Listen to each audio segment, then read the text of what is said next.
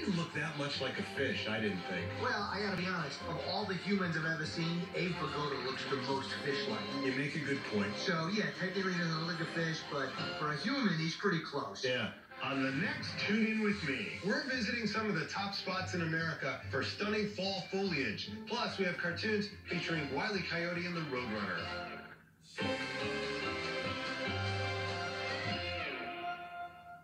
This is the MeTV Network. Seen locally on WJOP Middletown and WZME Bridgeport. MeTV.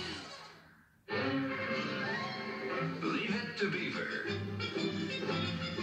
Starring Barbara Billingsley.